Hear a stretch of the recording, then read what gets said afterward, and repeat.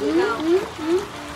Hi everyone. I'm so glad you are joining us. Oh my goodness, we have a lot of stuff going on. Hi, girl, you cannot come close. Guess what we have here today? Tell everybody what we just harvest. We harvest garlic, fresh garlic. Fresh garlic to be feeding. It's gonna be so delicious. Take a look at it. This is so Look at how big they are. Chunky, huge. Wesley, let's talk. Come over here, honey. You don't have to be on the camera. Can you talk a little bit about how this garlic plan, please? He said take about seven months Seven months, to be, everybody. to be like this. Seven months, and then we harvest. And then after harvest, normally we lay them all out on a rack, hang them upside down to dry.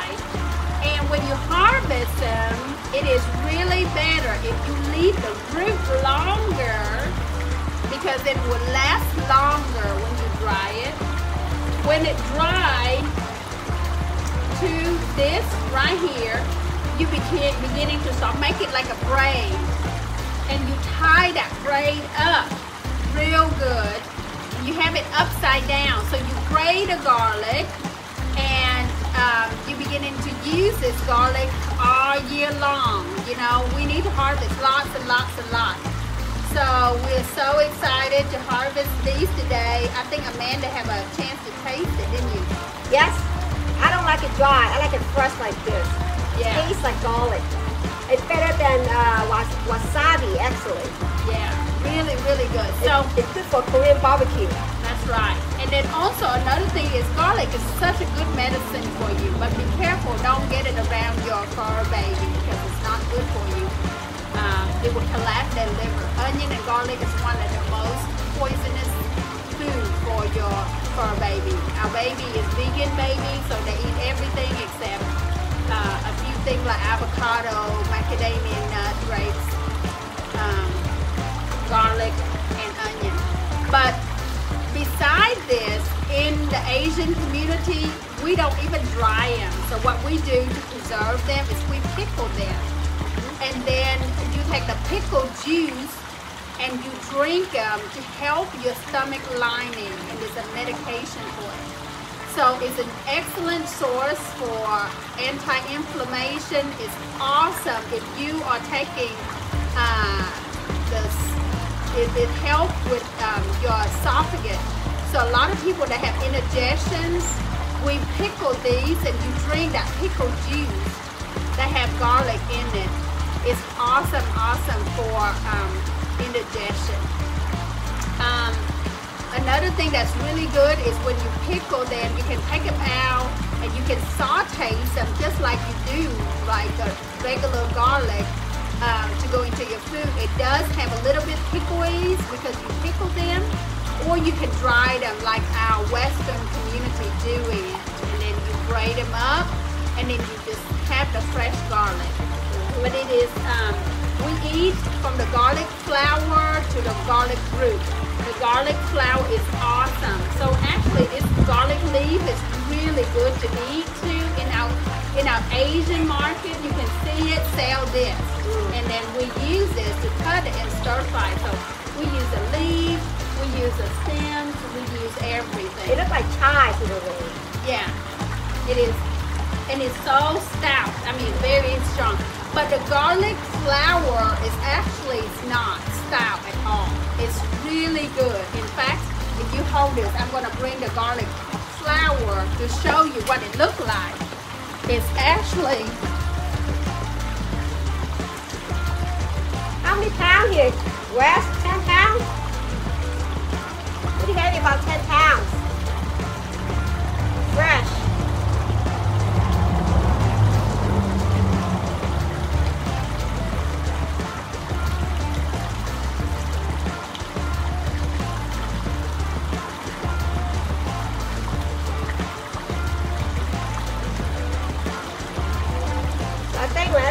Dried it out, it's strict if you lighter than this.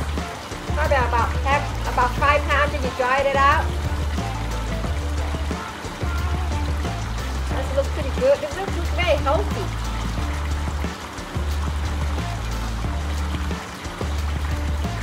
Do you wash it? It was muddy? So I want y'all to see, this is the garlic flower. See this right here? This is a garlic flower. So if you Google on the internet, it's called escaped. And basically this, you harvest this. When the flowers shoot up, you harvest this, this whole thing just like that. And it tastes just like the sweetest green bean ever. And I, I use this to roast it when I make a soup base, vegetable soup base, and I use a flower of the the um, the onion or the garlic like this. It is so good, and it does not have a strong stout like garlic. So you can eat the flower, you can eat the leaf, you can eat the root. It is so awesome. So I mean, Whole thing can eat from garlic. Yes. And it is, you know, so for us, it's very, very important to build a sustainable living, health, and wellness for um, our community. And our goal is that to inspire you all to do what we do, you know, to build your own sustainable garden, to be able to eat what comes up from the ground because the right choice of food you eat is your medicine.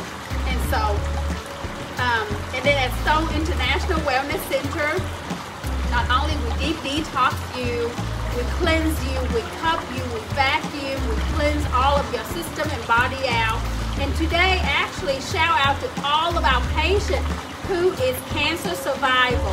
Lots and lots of our patients with cancer. Today is a National Cancer Survival uh, Survivor um, Day. So we want to shout out to all our cancer patients who trusting their health and wellness to us, with us. So that's why we can inspire from teaching you, from co- coaching you, from uh, healthy living and eating like this. Just like this morning, we talked to several of our cancer patients. We share different recipes. We do private coaching and classes and so on. So that's way you know. Uh, sometimes it's about stepping out your comfort zone, right there. Because like you introduced to me to a lot of Chinese